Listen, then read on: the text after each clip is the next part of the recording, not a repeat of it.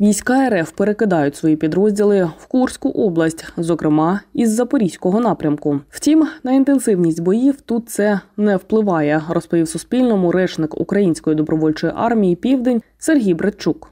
Це ті підрозділи, які, по-перше, можуть е, виконувати певні маневри з метою омани сил оборони.